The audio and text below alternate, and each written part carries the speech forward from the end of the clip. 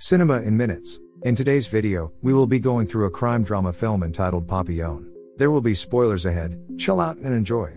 The movie begins with a prisoner peeping outside his prison cell. In Paris, the year 1931, a thief and safecracker named Henri Charrière, also known as Papillon, escapes through the window after stealing and he goes to Jean Castille. Castille shows him a man that his men beat up, warning Papillon of what will happen to the people that trick him. Papillon shows him the diamonds he just stole. Castille asks if he kept some for himself to which he declines, then, he got his payment. Afterward, he waits for a woman named Ninette outside the club. The two flirts, then, Papillon gives Ninette a necklace and shows him some diamonds that he didn't surrender to Castille. As the two walk away, a man sees them, specifically the necklace that Ninette's holding. The two play and flirt around the street, then make love to each other. Afterward, Ninette tells Papillon that she wants to settle in the countryside. But Papillon is hesitant if he will be making enough money in the country. Papillon, then, asks for six months to save money, but she doesn't want to wait that long. Their conversation gets cut off when Papillon's landlady knocks, asking for the rent. But when Papillon opens the door, the police barge in and arrest him. Papillon is framed up for the murder of Roland Legrand, the man that Castille ordered to kill the other night. Papillon tries to reason out, saying he's with Ninette all night to which she confirms, but they still arrest him. Later, Ninette visits Papillon and he knows that he can't get out since everything was set up perfectly. Instead, he'll just focus on breaking out of prison and getting his revenge on the people that sets him up.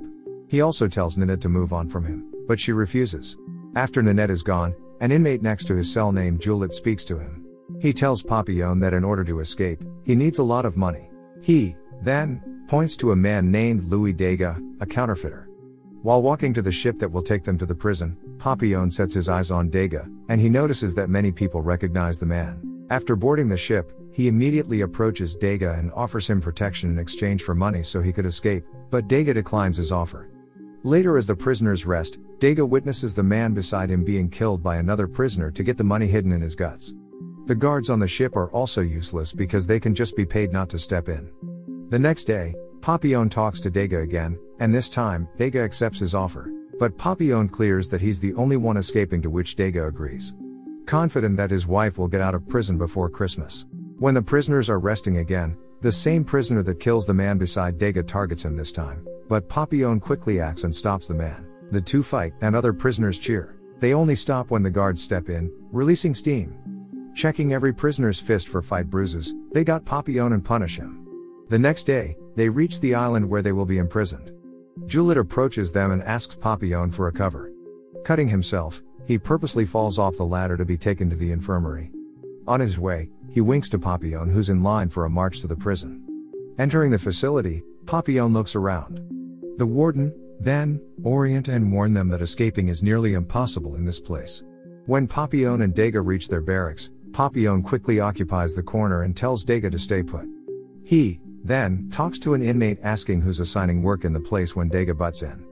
After agreeing with the amount of money they'll give, the man agrees to help them and give Dega a notebook. Then, Dega takes the money out of his butthole. Later while resting, they heard gunshots. A patient from the infirmary tries to escape, and Papillon quickly realizes that it's Juliet. The scene changes to the inmates getting assigned work to do. Papillon and Dega were assigned to the infirmary, but a deputy warden transfers them to Route Zero as revenge to Dega. Route Zero is the place where they collect rocks and Dega is not being useful. Even in pushing carts, Dega isn't helping at all. Weakened, he tells Papillon that he's having diarrhea and he lost some money. Papillon stops pushing and looks for the money down the track. While resting and eating, Dega discovers that the man beside him died. He's about to call the guard but a man named Celier stops him. He gets the dead man's ration of food and gives them. He, then, talks to Papillon about their life outside the prison. Seeing that Dega is in trouble, he warns Papillon in which he quickly acts and pushes the man that assaults Dega. They continue their work and come across a group of women being led by a big man who gets stuck. The guard lets them hop in the cart that the prisoners are pushing. Papillon immediately talks to the big man and asks him for a boat in exchange for money. The big man is about to tell on him, but when he raises the offer, the big man accepts his offer. The scene changes to Papillon and Dega taking a bath.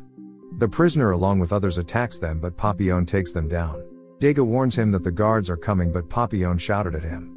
Night falls, Dega apologizes to Papillon and realizes that he'll not last long enough until his wife gets him out. so he decided to escape with Papillon. Before sleeping, Dega tells him to just call him Louis. The next day, the prisoners witness an execution. It turns out that while trying to escape, Juliet killed a guard.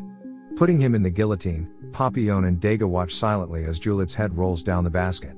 The warden, then, orders Papillon to pick another prisoner to take Juliet's body to which he picks Dega. While taking the body to the forest, Dega breaks down and stops carrying. The guard orders him to continue, but not being able to comply, the guard whips Dega's back. Not knowing what to do to help Dega, Papillon picks a rock then mashes the guard's head, and runs away. Other guards quickly follow him while others pick Dega up. It's already dark when Papillon reaches the big man.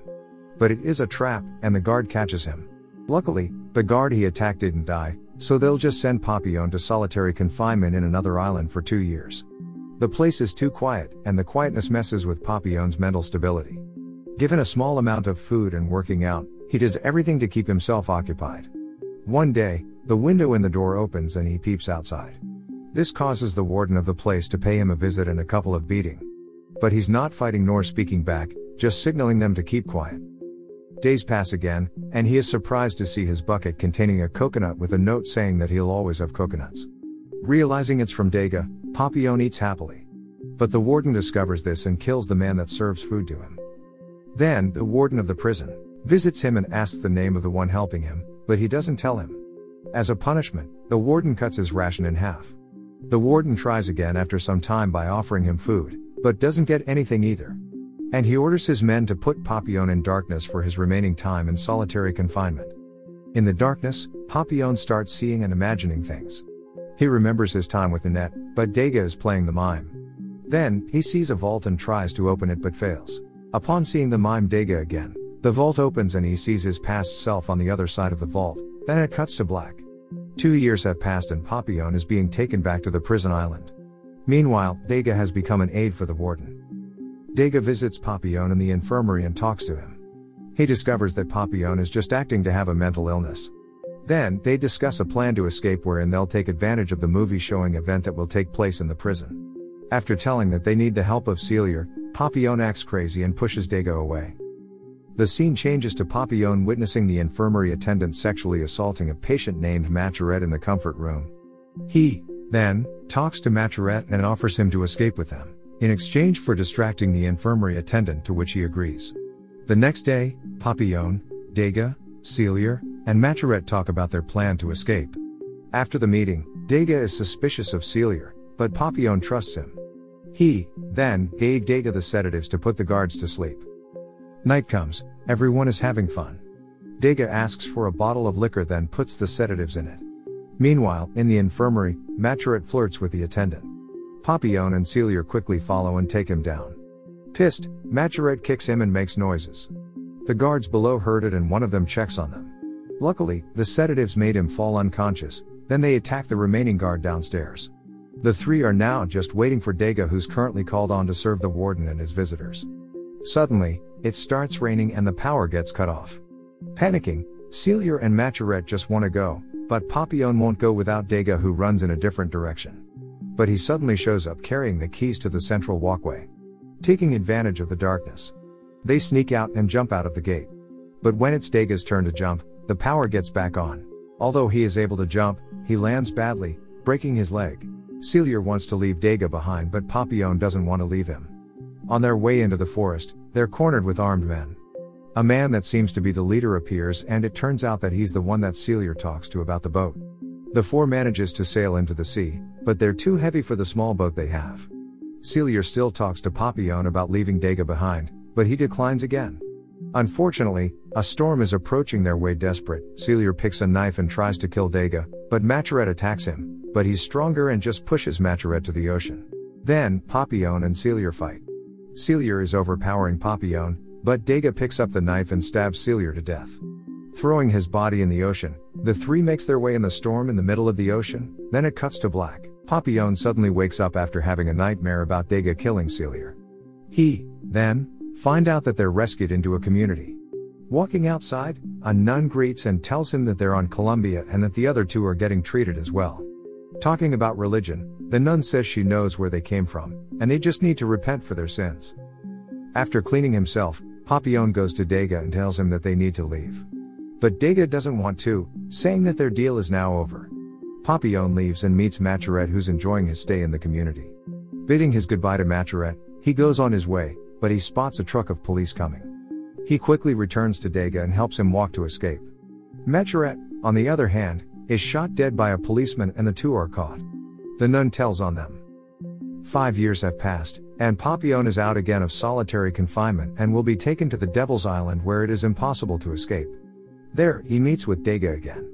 It turns out that the warden sent him to Devil's Island directly after getting caught. Looking over the cliff, Papillon realizes a way to escape.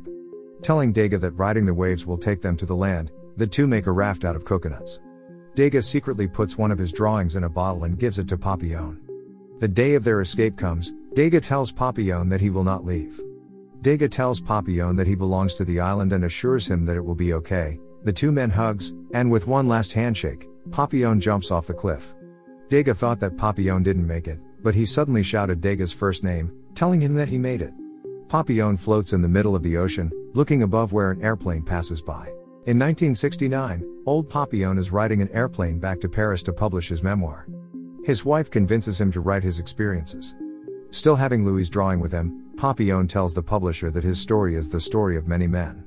The movie ends with a picture of the real Henri Papillon Charrière shown to the audience. Thanks for watching, subscribe for more videos like this and to help the channel grow.